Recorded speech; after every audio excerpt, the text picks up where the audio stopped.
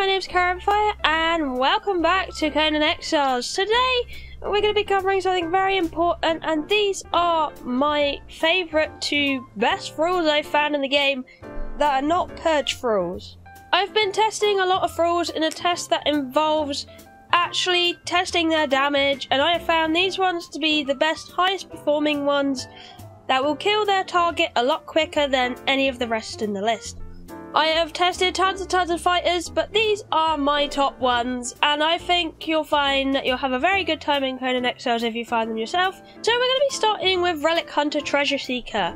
Now this lady is really, really awesome. Um, she actually performs pretty well. The best out of all the Relic Hunter brands I've found, apart from Captain, but Captain doesn't spawn in the Conan Exiles world anymore, so if you have one, you're very lucky, because they are very, very good. But the Relic Hunter Treasure Seeker is great. She's also very easy to find because they're everywhere all over the Undead City, so I can show you that in a moment. But I really like these because they have nice agility, nice vitality, and nice accuracy. Even though they're being a fighter, they make a pretty darn good archer, I'm not gonna lie. And they have pretty nice base HP pool. They're just a really nice thrall overall. So if you're looking for the fighters, one of the best spots here in the Undead City is probably actually this place right here. The reason that is because nothing else will disturb you but these treasure seekers. And this area is right here on the map. It's just above the Red Mother near the spawning pools on this bridge. Quite a nice little location to get them. Another place to get these treasure seekers will be here. And last but not least here. But this area might be a slightly more tricky than the rest of them because there is a lot of skeletons around. And here they are on the last location on the map. Next on the list in no particular order is the Cimmerian Berserker. It is a very underestimated thrall. People don't really look at it, they overlook it a lot. This is a very good fighter, especially when you give it something heavy, like a war axe or a sword. They do miles of damage. They are wonderful thralls. And they attack very fast. When I was using them to attack earlier, they were actually the quickest out of pretty much everybody to kill their target, so these are awesome for all to have. They start off with quite a nice base uh, HP as well, which is nice, and their strength, so they're a strength and vit thrall.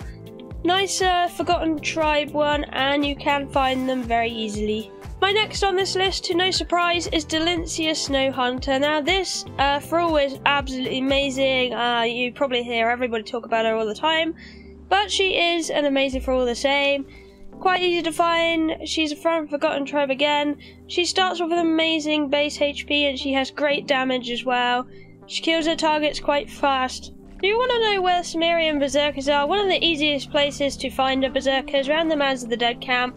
And there is always a spawner of a Cimmerian Berserker that will literally do figure loops around this water area. He'll walk, or it'll be a she or a he will walk one of the ways to distinguish what it is without getting too close is to see the it has a nice yellow bar around it. That's how you know it's a Cimmerian Berserker. And you can knock it out.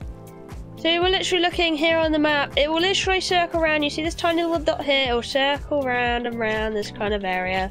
Another place you can find a Cimmerian Berserker is up in this little camp overlooking the Forgotten Tribe area. You can also find a Dalinsia Snow Hunter spawn here as well. As you can see, there's one on me right now that is very, very unhappy. And this little location is just literally, it's got a little road up to it and it's just there on the map.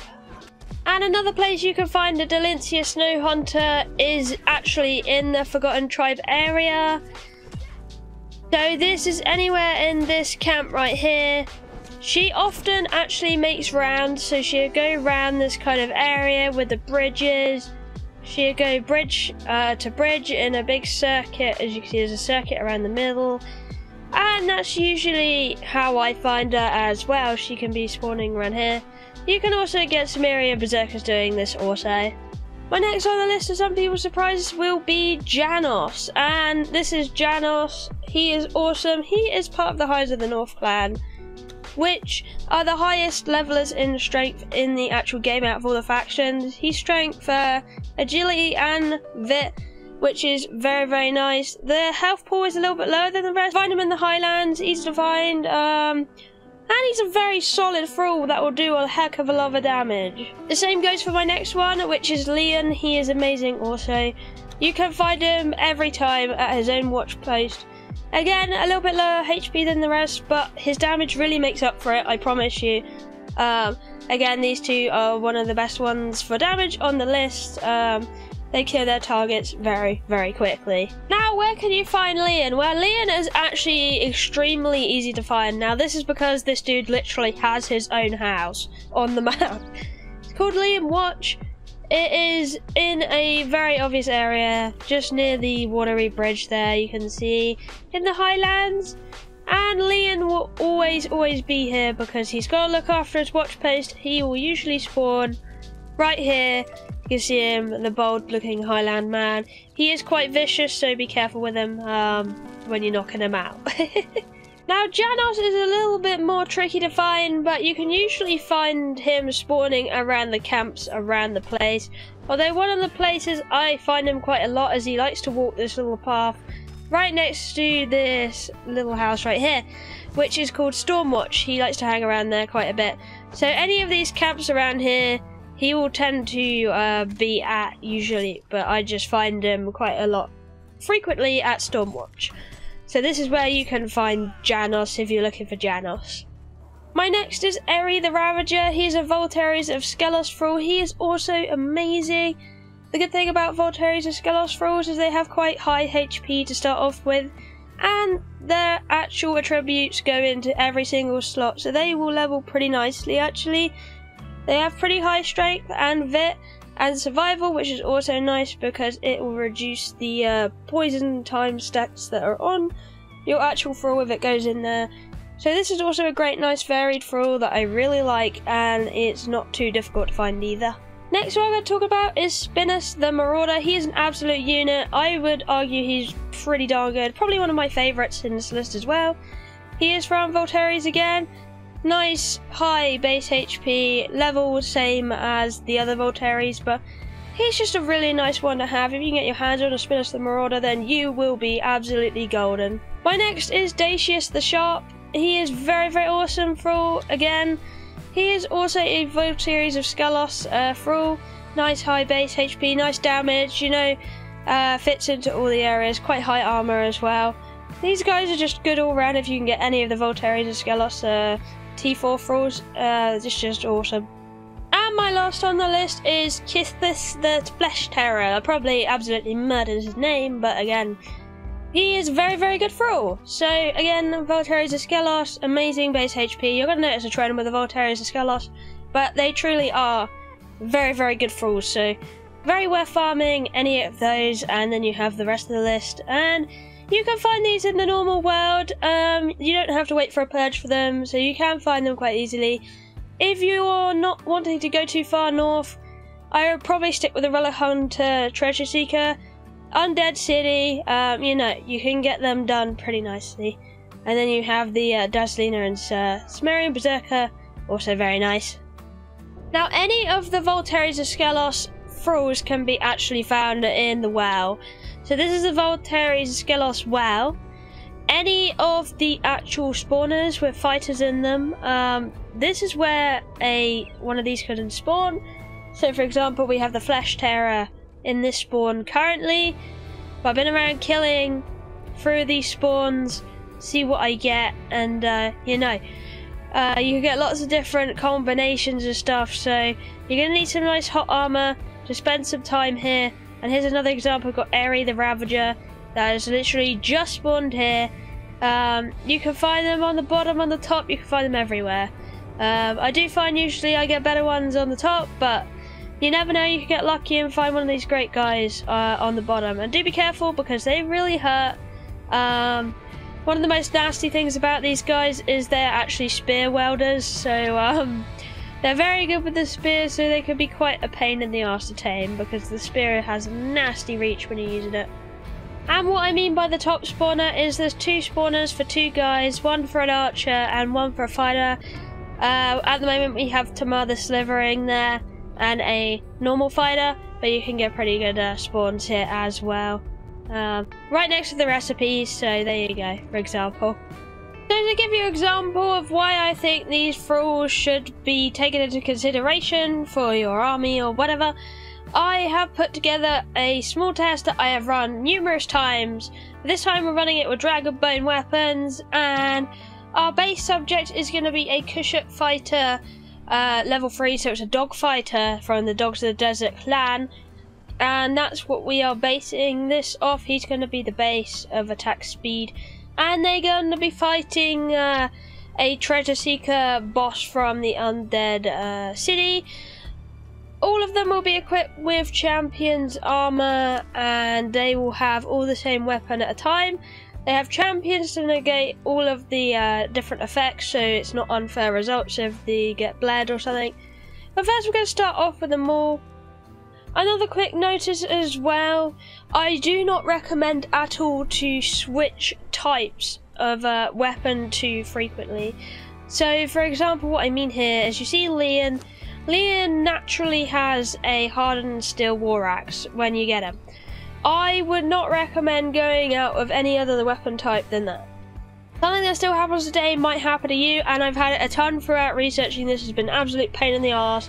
And if you've ever wondered why uh, thralls stop attacking, it's because of this. If you give them something too different from what they're used to, uh, stuff like that, it messes them up and they will just stop attacking. Um, they will just stand and look at your target and just follow you around like a brain dead thrall. So that's why uh, it's always recommended to give the thrall that you have the class of weapon that it naturally has come with. So uh, you can give it something different, but I don't entirely recommend it because you might make your thrall brain dead. So um, since it's not fixed so far, that's my recommendation. So don't do what I'm doing uh, and testing all of these things with uh, different weapon types because I have to kill off some of these sometimes so they can actually start fighting again because they've messed up, which is really sad.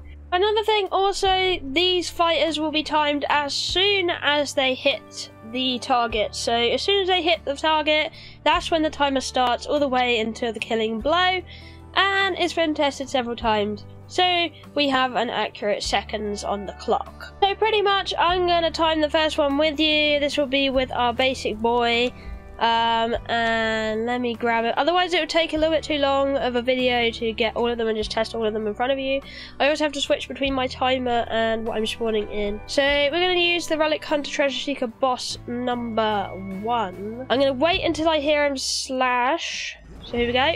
Start the timer right now because I've just heard that he smashed him and seen on my screen under my inventory that he smashed them as well. So they don't have any food by the way in this testing experience. I didn't want them to heal or anything. I just wanted the uh, results to be as accurate as possible. And I've picked a boss that is, uh, you know, in between. Uh, he's doing pretty well with his little thing. He's not living very well though, poor guy. Luckily we have another 10 people to go through. But there we go. And he killed that within about 57 seconds. That's how long it took little fighter to do it. Uh, Dragon Bone Maul, you see, there you go. Uh, good sundering weapon, armor pen. And that's how long it took him. And then I'm going to be doing the exact same process with everybody else and timing them. I just quickly want to add before I go through the results as well. This is what I mean when you give a thrall weapon that they can't exactly work with. So you have Lian here, I've given him the all. And straight away, he's bugged out with his first selection. And he's just going to follow him. He's not going to do anything else. What he's going to do. Even if he gets attacked, he will do the same thing. So I'm gonna try and get a new Lian out because he's he's pretty much screwed. he's he's very uh, screwed indeed. So we're gonna break the bond with Lian. There we go. Sorry, you gotta go, Lian. Uh, I need a new Lian. and we'll see if this guy works any better because this is just what happens with this testing. Um, you get them something too different, they will stop working entirely, and that will be your thrall going bye bye you know, that kind of thing. There we go, we got him a new Maul. Um, gonna put him in the pen, see if he takes to killing this guy this time. And I'm gonna quickly get ready to time it. There we go, he started working again, finally. so we're gonna start with our base, the Kushite Fighter 3. And this is pretty much the lowest statistics out of all of them, as it should be. The Dragon Maul, he scored 57 seconds to kill the target. On the Dragon Sword, it took him 2 minutes 31 seconds to kill the target. With the Dragon Great Sword, it took him 57 seconds to kill it. With the Dragon War Axe, it took him a full 2 minutes 39 seconds to kill it. With the Dragon Spear, it took him 1 minute 34 seconds to kill the target. And with the Dragon Dagger, it took him 1 minute and 4 seconds to kill the target. Moving on to Lian's score. With the Dragon Maul, it took him 33 seconds to kill the target. The Dragon Sword, it took him 34 seconds to kill the target. With the Dragon Great Sword, it took him 29 seconds to kill the target. With the Dragon War Axe, it took him 31 seconds. The Dragon Spear took him 40 seconds. And with the Dragon Daggers, it took him 46 seconds to kill the target. Moving on to Janos with quite a similar score. With the Dragon Maul, it took him 25 seconds to kill the target. With the Dragon Sword, it took him 35 seconds to kill the target. With the Dragon Great Sword, it took him 22 seconds to kill the target. With the Dragon War Axe, it took him 28 seconds to kill it. With the Dragon Spear, it took him 39 seconds to kill the target. And with the dragon daggers, it took him 45 seconds to kill it. Moving on to Dalinsia Snow Hunter. Starting off with the Dragon Maul again, that's 31 seconds to kill the target. With the Dragon Sword, it took her 32 seconds to kill the target. With the Dragon Great Sword, it took her 24 seconds to kill the target. With the Dragon War Axe, it took her 35 seconds to kill the target. With the Dragon Spear, it took her 40 seconds to kill the target. And with the Dragon Dagger, it took her 52 seconds to kill the target. Moving on to the Cimmerian Berserker. With the Dragon Maul, it took him 28 seconds to kill the target. With the Dragon Sword, it took him 38 seconds to kill the target. With the Dragon Great Sword, it took him 20 seconds to kill the target. With the Dragon War Axe, it took him 29 seconds to kill the target. With the Dragon Spear, it took him 55 seconds to kill the target. The Dragon Dagger, it took him 49 seconds to kill the target. For the Relic Hunter Treasure Seeker, it took for the Dragon Maul 20 seconds to kill the target. For the Dragon Sword, it took 51 seconds to kill the target. The Dragon Great Sword, it took 25 seconds to kill the target. For the Dragon War Axe, it took 1 minute 4 seconds to kill the target. For the Dragon Spear, it took 47 seconds to kill the target. And for the Dragon Dagger, it took 54 seconds to kill the target. Moving on to Erri the Ravager, for the Dragon Maul, it took him 23 seconds to kill the target. The Dragon Sword, it took him 32 seconds to kill the target. The Dragon Great Sword took 27 seconds to kill the target. The Dragon War Axe, it took 29 seconds to kill the target. For the Dragon Spear, it took 32 seconds to kill the target. And for the Dragon Daggers, it took 35 seconds to kill the target. Moving on to Spinas, the Marauder. For the Dragon Maul, it took him 18 seconds to kill the target. For the Dragon Sword, it took him 40 seconds to kill the target. The Dragon Great Sword, it took him 25 seconds to kill the target. With the Dragon War Axe, it took him 25 seconds to kill the target. The Dragon Spear took him 30 seconds to kill the target, and with the Dragon Dagger it took him 31 seconds to kill the target. Now for Dacius the Sharp, starting off with the Dragon Maul, it took him 18 seconds to kill the target. With the Dragon Sword, it took 33 seconds to kill the target. With the Dragon Great Sword, it took him 30 seconds to kill the target. With the Dragon War Axe, it also took him 30 seconds to kill the target. For the Dragon Spear, it took him 36 seconds to kill the target. And for the Dragon Daggers, it took him 34 seconds to kill the target. Last but not least, we have Kithis, the Flesh Terror. For the Dragon Maul, it took him 21 seconds to kill the target. For the Dragon Sword, it took him 33 seconds to kill the target. For the Dragon Great Sword, it took him 28 seconds to kill the target. For the Dragon War it took him 27 seconds to kill the target. For the Dragon Spear, it took him 33 seconds to kill the target. And for the Dragon Daggers, it took him 37 seconds to kill the target. And that is all the numbers rounded up into one area. So was quite impressed with these results, and as you know in battle, sometimes every second counts for these kind of things. So the lower the seconds, the better the thing. You know how it goes. And some of the results are quite surprising for what they are, but I think they're brilliant. Um, I think it's a really good selection of thralls. Let me know what your favourite thralls are and why. And these are my selection of strongest thralls that you can find without the purge around the map. But anyway, that will be all for today. Thank you for watching. I love you, and I'll see you in the next one. Bye bye!